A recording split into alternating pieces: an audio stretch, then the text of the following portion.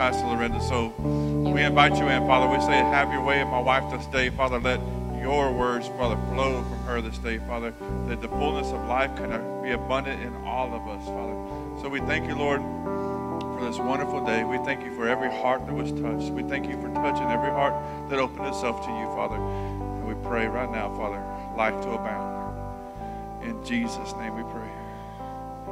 Amen. Hey, can I uh, ask you a question real quick while y'all are sitting down?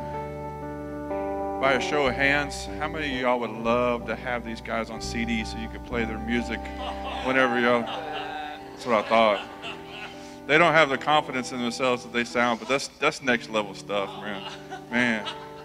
So I think we should start a fund together. Let's raise up some money and let's start getting these guys in the studio so we can have something to drive back and forth to around town with. Amen. Amen.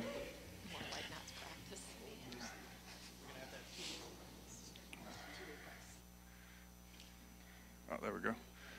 All right. Thank you, guys.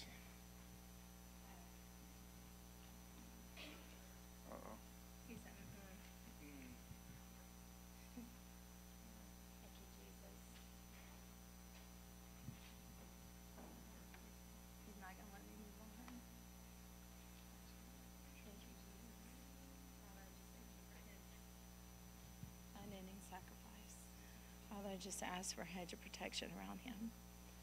Father, I ask that you give him a clear mind, ears to hear, eyes to see, and a mouth to speak.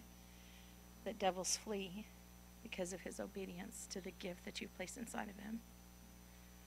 Father, I ask that a new song come forth. Father, I ask that it come from the throne of God. That it comes from the mouths of angels that sing glory, glory, glory to the Lord God Almighty, who was and is and is to come. Father, I thank you for the anointing that is over him. Even though we know just a glimpse of what it is, you know the fullness of what you've placed inside of him. I ask for protection over that anointing today, over his mind, over his heart, over his hands, over his eyes, over his ears, over his mouth because all of it has been given to him by you. So, Father, we thank you. We give you honor and glory, and we ask that you bless him, abundantly bless him. In Jesus' name. I think it's appropriate that he has a Superman shirt on because I was thinking about that while he was on stage. I was like, you know, Superman was a man that came to serve us on earth, but his powers didn't come from here on earth. His powers came from where he was. So I really think that this is appropriate for our worship leader. His strength isn't from him, his strength is from where he's been. Amen. So thank you, guys. Thank you. All right, without further ado, let me introduce my wife, Laurinda Payne. Amen.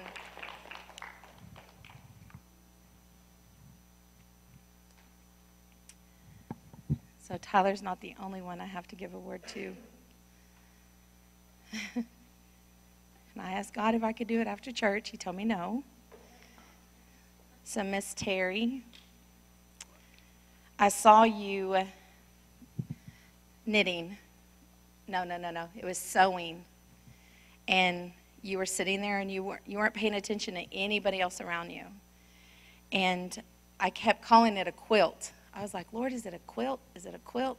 Because I could see you doing one loop after another, after another, and then you turn it, and other pieces would fall, and you would take it and you would put it onto this quilt. And the Lord said, It's not a quilt, it's a tapestry.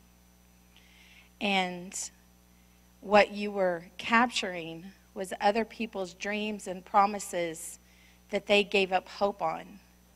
And you were taking them, and you weren't focused on them.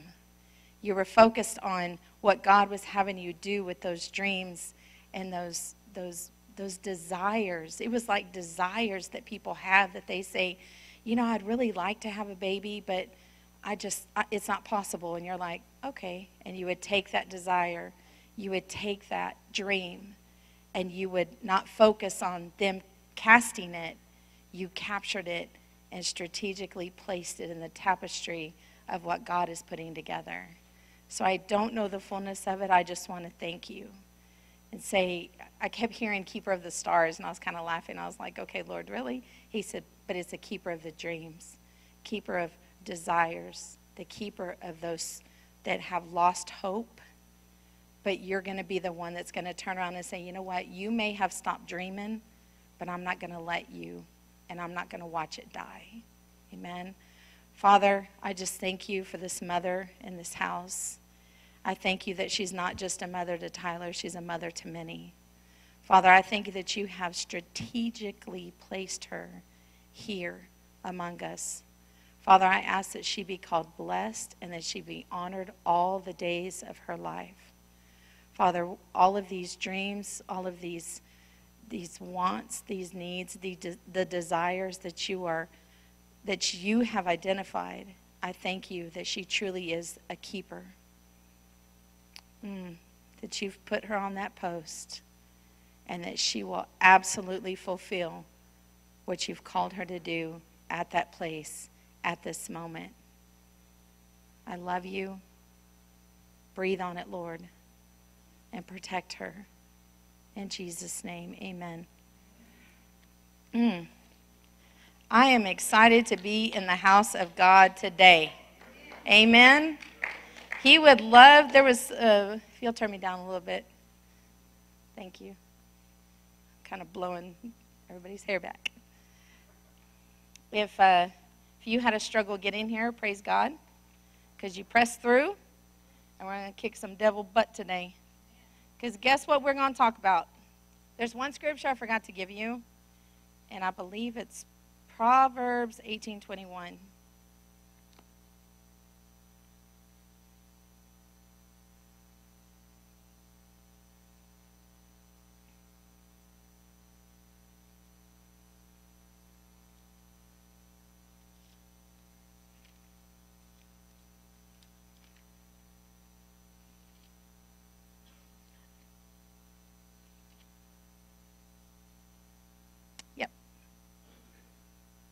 I'm going to read from it.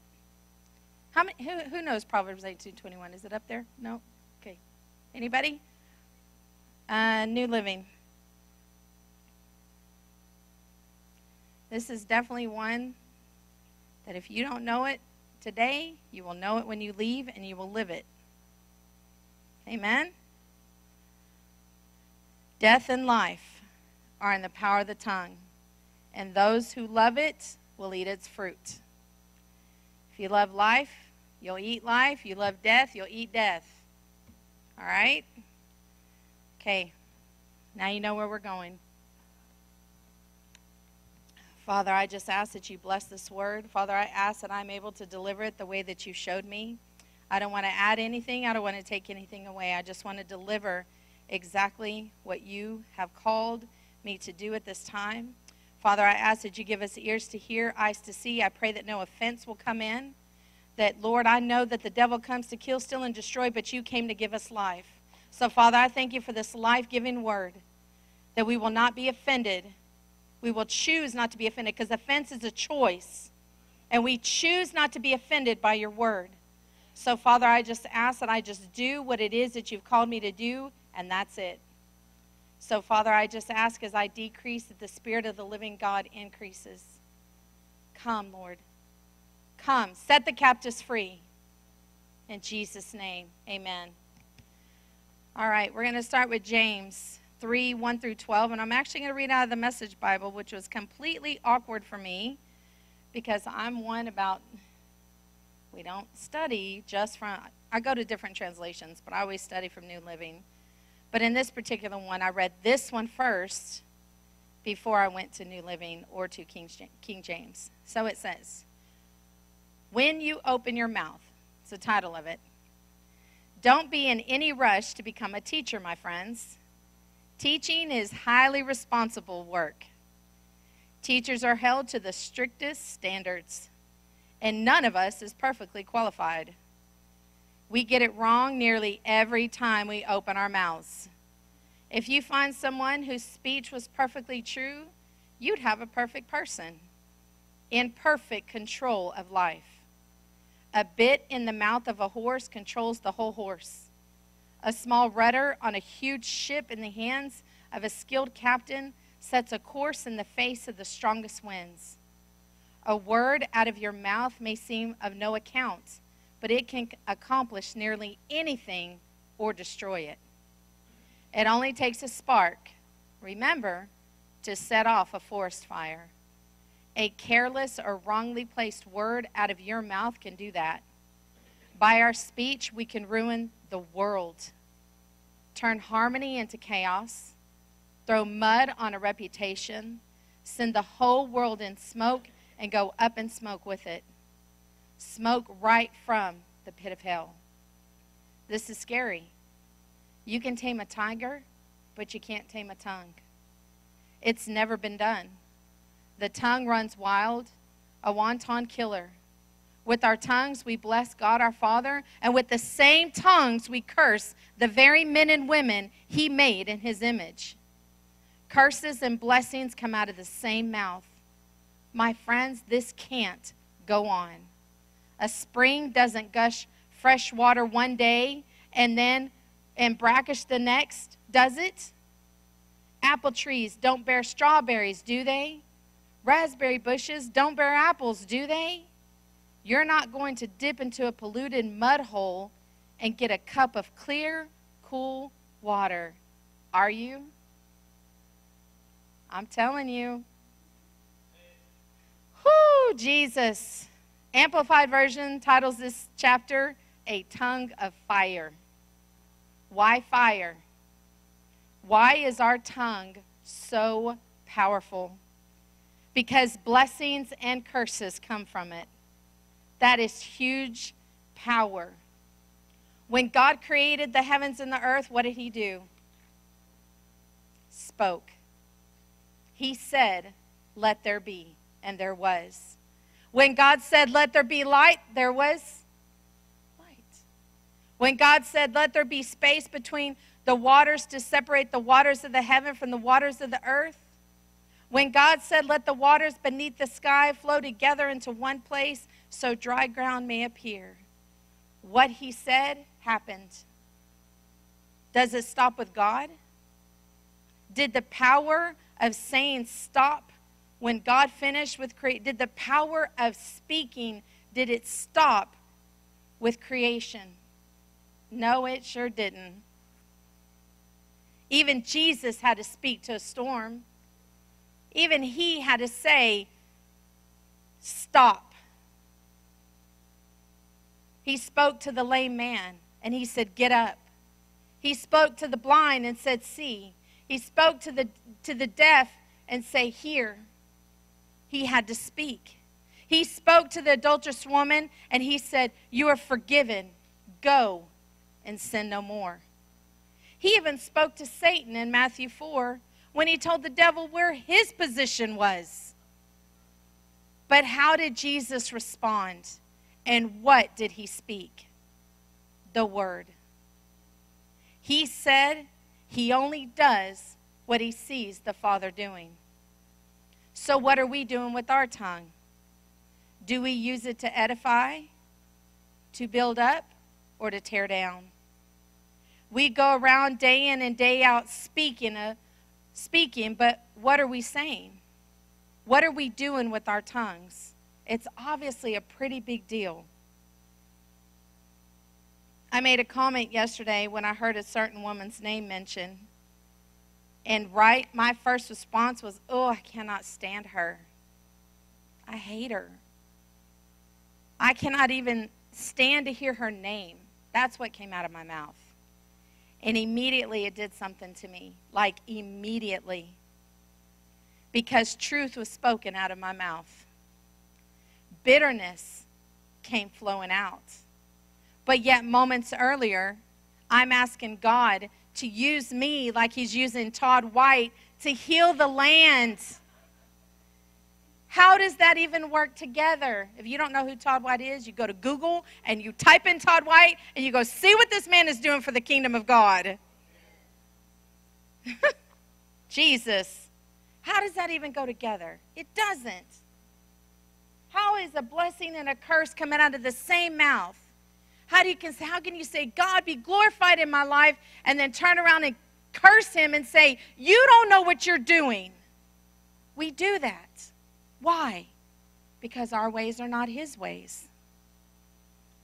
Now, I understand we're all human, and I'm sure Todd White may not always be 100% on point, and there are people out there to make sure you know that. But I can see his fruit, and I will judge his fruit. I shared a scripture this morning on Facebook. It was from the book of Galatians. It says, We harvest what we plant. So we're going to go to Galatians 6.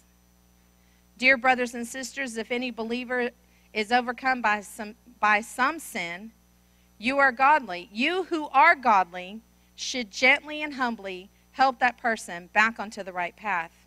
And be careful not to fall into the same temptation yourself. Share each other's burdens, and in this way, obey the law of Christ. If you think you are too important to help someone, you're only fooling yourself. You're not that important.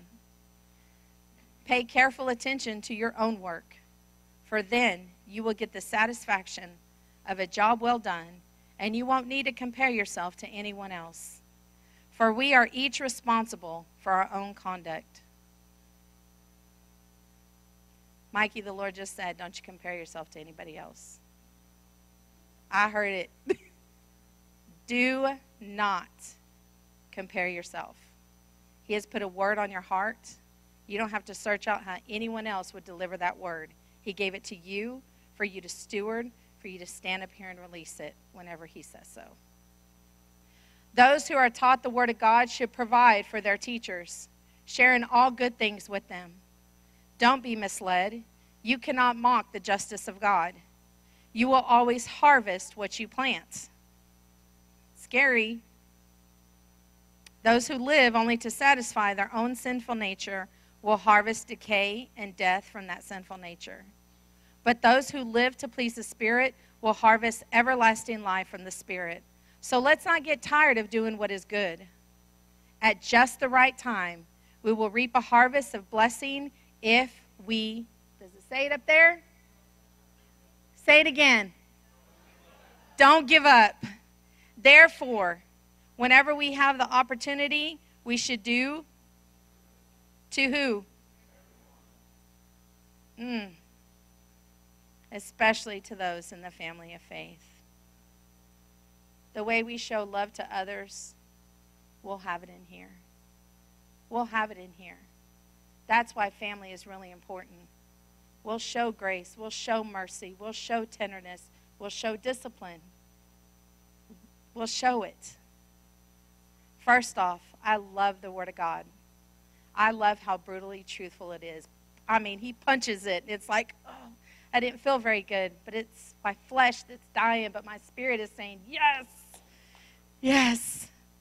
It says, don't fool yourself and think too highly of yourself. Boy, that'll bring you back down to reality and a heartbeat. Robbie talked about humility this morning in prayer. And I immediately thought about us being on our knees but then the Lord showed me again a sign of surrendering. Our hands are open, and the most tender area is exposed.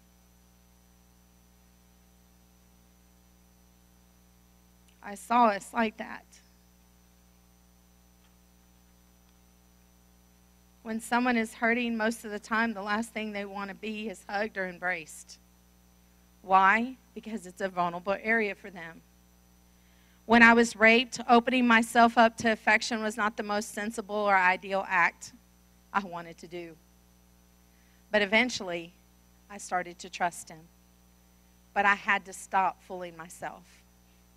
We need to stop trying to fool ourselves. We don't always have to have an answer for everything. Let us choose our words wisely. It says not everyone should be a teacher. Why? Because teaching is a big deal. There's some people we shouldn't be role modeling after. There's some people we shouldn't be saying the same things as them.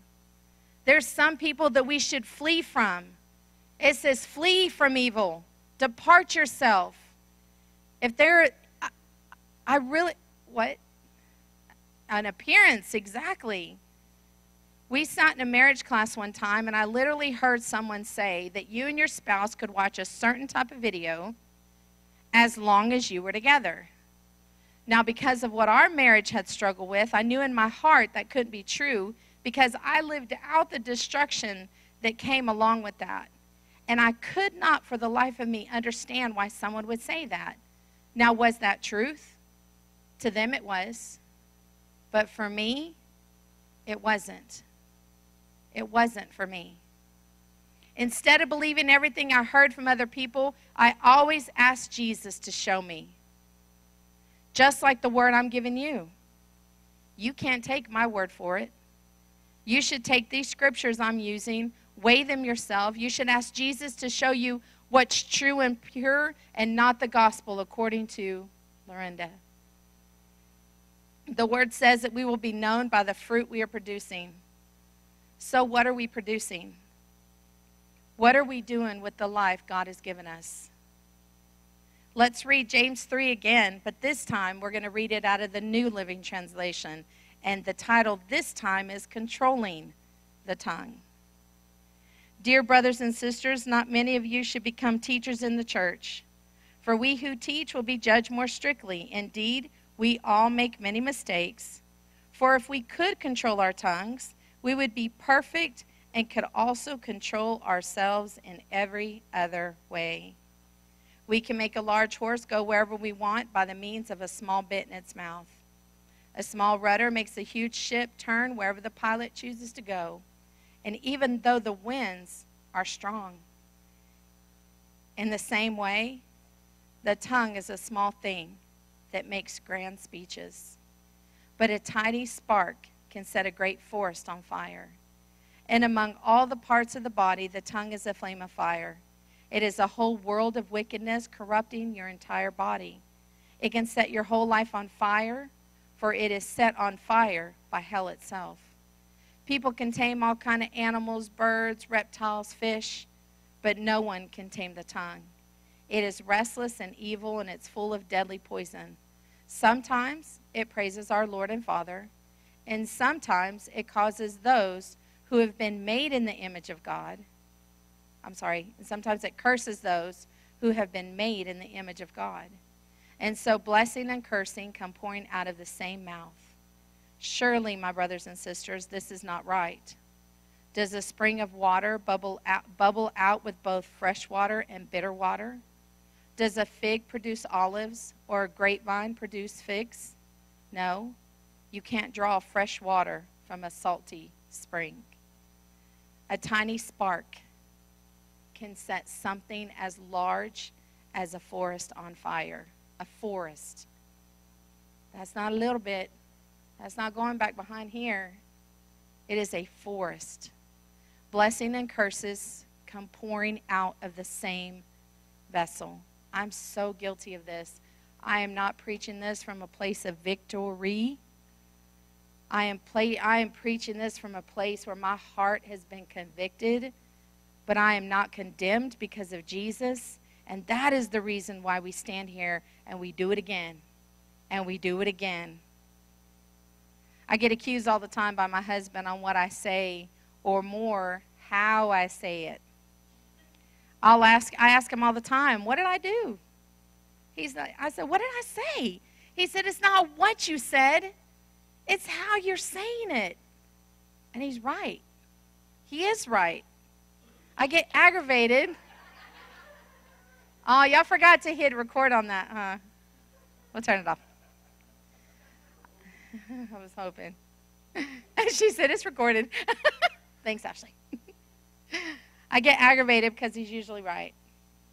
Our words are powerful. Let's use them to build up the people around us. This doesn't mean speak fluff into their life and it's okay. It's okay. No, there should be some, you know what?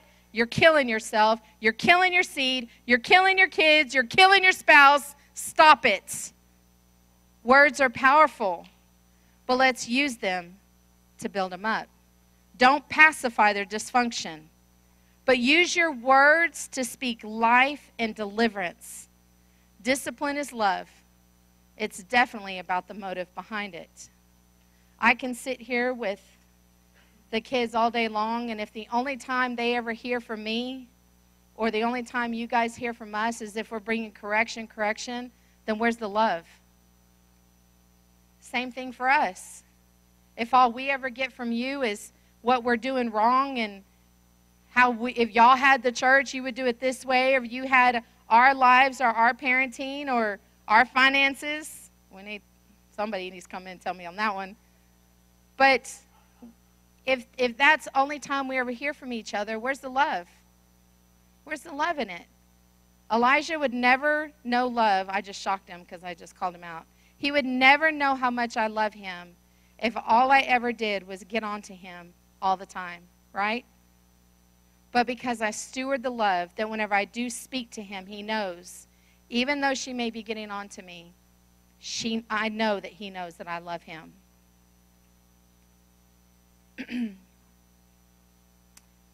I put on here, that's an out of balance account. It says, it says just like if James and I only hear you when you have a complaint, or what we're doing or not doing, that's an out of balance account. You can't make a withdrawal from an account you've never made a deposit into. I, I didn't even know I said that. Pretty good. okay. We're going to end with Proverbs 1727. And this is from the Amplified. It says, He who has knowledge restrains and is careful with his words and a man of understanding and wisdom has a cool spirit, self control, and an even temper. We don't always have to speak, but when we do, we need to remember that our words truly carry power. You can raise the dead, but like I told Robbie today, you can cause things that need to die be gone because that's how powerful the living God inside of us is. We can break strongholds because the blood of Jesus breaks every chain, or we can come together and bind things together the way that it's supposed to be ordained and established. Amen. I pray you love me. I pray that you will allow God to show you. And if we have some quiet car rides home today, then praise God for them. But I love you and I pray that you hear my heart this morning. Amen. Amen. Jesus, we just say yes to your word. We say yes to your truth. And Lord, we truly do ask for you to bridle our tongues. We ask that you bring conviction to our hearts where we need to maybe apologize for some words that we spoke. I know in my own life there's some, definitely some of those going on. I pray that once you bring them to the surface, that we'll acknowledge it, we'll give it to you, and Lord, I ask that you will repair breaches. I see these bridges right now that were actually being repaired because we realized that we spoke death over them and not life. So, Father, I just ask that in every area, even out of our ignorance, yes, even out of our ignorance, even in our thinking that we are doing well, I pray that your blood covers it, Jesus and that healing will come to those areas. But Lord, I pray that we walk out of here realizing that we don't need to cuss to make our point, that we can do it by speaking love and truth And that's the only thing we need. So, Father, we just thank you for today. We thank you for this time together. I pray a blessing over every single individual that is here. I love the, the feeling of unity this morning. It has blessed my heart tremendously. And I know that that can only be done by the Jesus that is inside of each and every one of us. So I love you. I praise you. We give you honor and glory. In Jesus' name, amen.